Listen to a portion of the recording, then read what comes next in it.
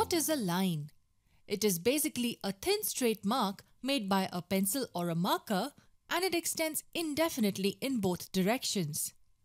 But I can also draw a line like this or like this. It means that we do not have a single way in which a line can be drawn.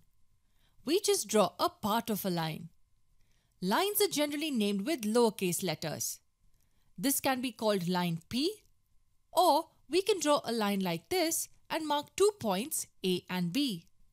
This will be called line AB. Line AB can also be written as AB with a tiny line drawn over AB.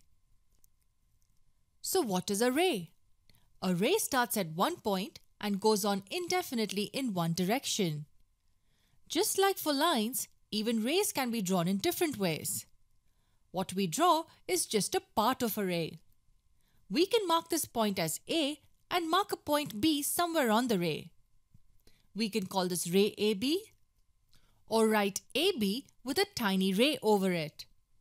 This tells us that the ray starts at point A and goes indefinitely in one direction.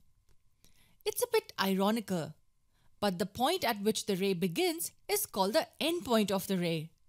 Here, A is the endpoint of this ray, which means it cannot be written as ray BA or BA with a tiny ray over it.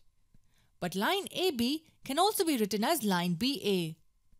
We just need to be careful when we are dealing with a ray. Now, let's get to the final concept in this video. Look at what we have drawn here. We can see that it has two endpoints. This is called a line segment and it is a fixed part of a line.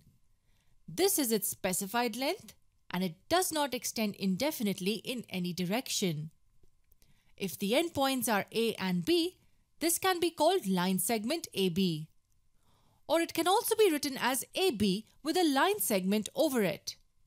And yes, we can also write this as BA with a line segment over it. A line extends indefinitely in both directions. A ray starts at its endpoint and goes indefinitely in one direction and a line segment is a fixed part of a line.